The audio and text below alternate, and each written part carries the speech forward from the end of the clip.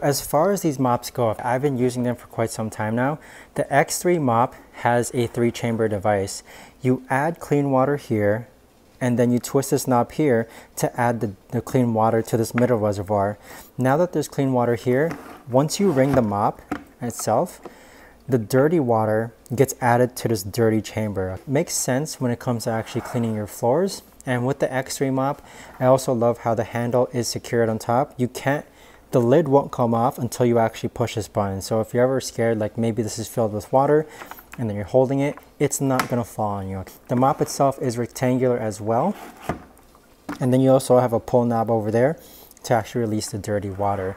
So to me, this mop makes sense.